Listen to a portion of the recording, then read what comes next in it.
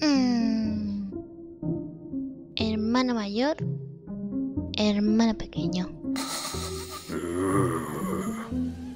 Un gusto en conocerte. Mi nombre es Sans, Sans el esqueleto. Y este es mi hermano menor, el terrible Papyrus. ¿Lo escuchaste? Hermano menor. Porque menor significa pequeño. Tú eres pequeño.